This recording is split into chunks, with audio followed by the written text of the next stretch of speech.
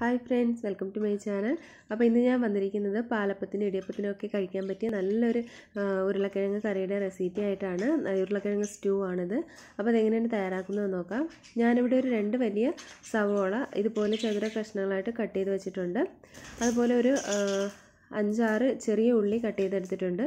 പിന്നെ പച്ചമുളക് പച്ചമുളക് നിങ്ങളുടെ എരിവിനനുസരിച്ച് എടുക്കാം. അപ്പോൾ ഞാനിവിടെ സവോള കൂടുതലും ചെറിയ ഉള്ളി കുറച്ചുമാണ് എടുത്തിരിക്കുന്നത്. ഈ കറിക്ക് ചെറിയ ഉള്ളി കൂടുതൽ എടുക്കുന്നതാണ് കൂടുതലായിട്ട് ടേസ്റ്റ് അപ്പോൾ അതിന്റെ കുറവ് കൊണ്ടാണ് ഞാൻ ഇങ്ങനെ എടുത്തിരിക്കുന്നത്. സവോളയിലും ചെയ്യാം പക്ഷേ കൂടുതൽ ടേസ്റ്റ് ചെറിയ ഉള്ളി ആയിരിക്കും. കൂടുതലായിട്ട് ചെറിയ ഉള്ളി എടുക്കാനായിട്ട് ശ്രദ്ധിക്കുക. ഇനി ഒരു കടായിലേക്ക് ഞാനിവിടെ എണ്ണ ഒഴിച്ച് കൊടുത്തിട്ടുണ്ട്. വെളിച്ചെണ്ണയിലായിരിക്കും കൂടുതൽ ടേസ്റ്റ് അതിലേക്ക് ഞാൻ കടുക് ചേർത്ത് കൊടുക്കുന്നുണ്ട്.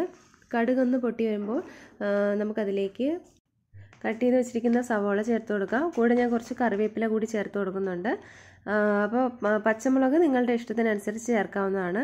ഇനി ഞാൻ ഇത് ഒരല്പം ഒന്ന് വഴണ്ട് വരുമ്പോൾ അതിലേക്ക് ഒരു ചെറിയ കഷ്ണം ഇഞ്ചി ഇതുപോലെ പൊടിയായി അരിഞ്ഞത് ചേർത്ത് കൊടുക്കുന്നുണ്ട്. പച്ചമുളകും കൂടെ ചേർത്ത് കൊടുക്കാം. അതിനുശേഷം നമുക്കതിലേക്ക് ചെറിയ ഉള്ളി ചേർത്ത് കൊടുക്കാം. കാരണം ചെറിയ ഉള്ളി ആദ്യം ചേർക്കുന്നില്ല. സവോള നിങ്ങൾ ചെറിയ ഉള്ളി കൂടുതലാണെന്നുണ്ടെങ്കിലും സവോള ഒരെണ്ണം എടുക്കുക കേട്ടോ. ആദ്യം അതൊന്ന് വഴട്ടിയതിന് ശേഷം ചെറിയ ഉള്ളി ഇതേപോലെ ചേർത്ത് കൊടുത്താൽ മതി. അധികമായിട്ട് അങ്ങ് ചെറുതായിട്ട് കട്ട് ചെയ്യുകയൊന്നും വേണ്ട.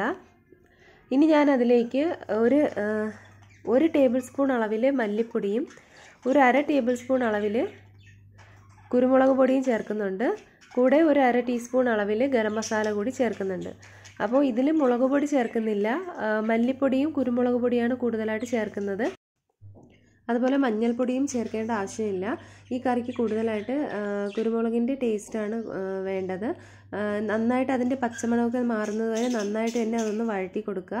ലോ ഫ്ലെയിമിലിട്ട് നന്നായിട്ട് തന്നെ അതൊന്ന് മൂപ്പിച്ചെടുക്കണം. അതിന്റെ പച്ചമണമൊക്കെ നന്നായിട്ട് മാറണം. അതുവരെ ഒന്ന് ഇതുപോലെ ഒന്ന് മൂപ്പിച്ച് കൊടുക്കുക. ചെറിയൊരു കളറൊന്ന് മാറി വരണം. അത്രയും നേരം ഒന്ന് മൂപ്പിച്ച് കൊടുക്കുക.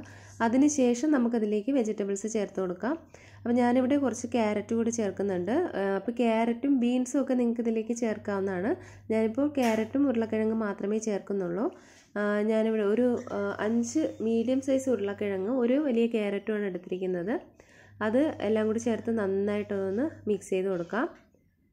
ഈ ഒരു സ്റ്റ്യൂ എന്ന് പറയുമ്പോൾ നമുക്ക് ഇടിയപ്പത്തിനോടൊപ്പം അതുപോലെ പാലപ്പത്തിനോടൊപ്പം ഒക്കെ കഴിക്കാവുന്നതാണ്. ചപ്പാത്തിയോടൊപ്പം പൂരിയോടൊപ്പം ഒക്കെ കഴിക്കാം. നല്ല ടേസ്റ്റാണിത്. ഇനി ഇതിലേക്ക് നമുക്ക് ആവശ്യത്തിനുള്ള ഉപ്പ് ചേർത്ത് കൊടുക്കാം. ഉപ്പ് ചേർത്ത് നന്നായിട്ട് അതൊന്ന് യോജിപ്പിച്ച് കൊടുക്കുക. നന്നായിട്ട് മിക്സ് ചെയ്തതിന് ശേഷം നമുക്കിതിലേക്ക് പാൽ ചേർത്ത് കൊടുക്കുക. തേങ്ങാപ്പാൽ രണ്ടാം പാൽ ചേർത്ത് കൊടുക്കുക. അധികം കട്ടിയില്ലാത്ത പാലാണ് രണ്ടാം പാൽ. അപ്പോൾ അത് ഇതിലേക്ക് ചേർത്ത് കൊടുക്കുക. ഈ ഉരുളക്കിഴങ്ങ് വേകാനായിട്ട് തേങ്ങാപ്പാൽ ചേർത്താണ് നമ്മളിത് വേവിച്ചെടുക്കുന്നത്. അപ്പോൾ അതിനനുസരിച്ച് അത് വേകാൻ ആവശ്യമായിട്ടുള്ള പാൽ പാൽ തന്നെ ഇതിലേക്ക് ചേർത്ത് കൊടുക്കാവുന്നതാണ്. ഒരു രണ്ട് കപ്പോളം രണ്ടര കപ്പോളം പാൽ ഇതിലേക്ക് ചേർത്ത് കൊടുക്കുക. എന്നിട്ട് അത് അടച്ചു വെച്ചതൊന്ന് ഹൈ ഫ്ലെയിമിലിട്ടൊന്ന് തിളപ്പിക്കുക. അതിന് ശേഷം മീഡിയം ഫ്ലെയിമിലിട്ടൊന്ന് വേവിച്ചെടുക്കാം തിള വന്നതിന് ശേഷം മീഡിയം ഫ്ലെയിമിലേക്ക് ഇട്ടാൽ മതി. അപ്പോൾ നന്നായിട്ട് അത് തിളച്ച് വന്നിട്ടുണ്ട്. അത് വെന്തോന്നൊന്ന് നോക്കുക. വെന്തിട്ടില്ലെങ്കിൽ കുറച്ച് നേരം കൂടി ഒന്ന് അടച്ചു വെച്ചാൽ ഒന്ന് വേവിച്ചെടുക്കാവുന്നതാണ് ഈ സമയത്ത് ഉപ്പും കൂടെ നോക്കുക. ഉപ്പ് വേണമെന്നുണ്ടെങ്കിൽ കുറച്ചും കൂടി ചേർത്ത് കൊടുക്കാവുന്നതാണ്. ഇനി ഞാൻ അല്പം നേരം കൂടി ഒന്ന് അടച്ചു വെച്ചാൽ ഒന്ന് വേവിച്ചെടുക്കുന്നുണ്ട്. ഇപ്പോൾ ഏകദേശം നന്നായിട്ട് അതൊന്ന് വറ്റി വന്നിട്ടുണ്ട്. ഉരുളക്കിഴങ്ങ് നന്നായിട്ട് വെന്ത് വന്നിട്ടുണ്ട്. ഒരു സ്മാഷർ വെച്ചൊന്ന് നന്നായിട്ടൊന്ന് ഉടച്ചു കൊടുത്താൽ മതി. അപ്പോൾ കറിക്ക് നല്ല തിക്നെസ് കിട്ടും. അപ്പോൾ ഞാൻ ഇതിലേക്ക് കുറച്ചുകൂടി ഗരം മസാല ചേർക്കുന്നുണ്ട്. അപ്പോൾ ഗരം മസാലയുടെ അളവ് നിങ്ങളുടെ ഇഷ്ടത്തിനനുസരിച്ച് ചേർക്കാവുന്നതാണ്.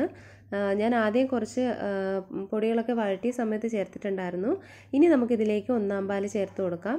അപ്പോൾ കട്ടിയുള്ള തേങ്ങാപ്പാലാണ് ഒന്നാം പാൽ. അപ്പോൾ അത് ചേർത്ത് കൊടുക്കുക. തേങ്ങാപ്പാൽ ചേർത്തതിന് ശേഷം അധികമായിട്ട് അത് തിളപ്പിക്കരുത്. ചെറുതായിട്ടൊന്ന് ചൂടാകാനേ പാടുള്ളൂ. പിന്നെ നിങ്ങൾക്ക് ഈ സമയത്ത് കുരുമുളക് പൊടിയോ ഗരം മസാലയോ വേണമെന്നുണ്ടെങ്കിൽ ചേർക്കാവുന്നതാണ്. അപ്പോൾ കുരുമുളക് പൊടി ആദ്യമേ തന്നെ ഒരു അര ടീസ്പൂണോ മുക്കാൽ ടീസ്പൂണോ ഒക്കെ ചേർക്കുക. ലാസ്റ്റിൽ ചേർക്കുന്നതിനെക്കാട്ടി ആദ്യം ചേർക്കുന്നതാണ് നല്ലത്. ഇനി കുറച്ച് കറിവേപ്പില കൂടി ചേർത്ത് കൊടുക്കുക. അപ്പോൾ നമ്മൾ അടിപൊളിയായിട്ടുള്ള ഒരു സ്റ്റൂ ഇവിടെ റെഡി ആയിട്ടുണ്ട്. ഉറപ്പായിട്ട് എല്ലാവരും ട്രൈ ചെയ്ത് നോക്കുക. എല്ലാവർക്കും ഉറപ്പായിട്ട് ഇഷ്ടമാകും ഇത് ഇഷ്ടമായാലൊന്ന് ലൈക്ക് ചെയ്യാനും ഷെയർ ചെയ്യാനും ചാനൽ സബ്സ്ക്രൈബ് ചെയ്യാനൊന്നും മറക്കരുത്. സബ്സ്ക്രൈബ് ചെയ്യുമ്പോൾ ബെല്ലൈക്കണം ഓൾ ഓപ്ഷനും ഒക്കെ ക്ലിക്ക് ചെയ്യുക. പുതിയൊരു വീഡിയോ ആയിട്ട് നമുക്ക് വീണ്ടും കാണാം. അതുവരേക്കും എല്ലാവർക്കും ബൈ താങ്ക്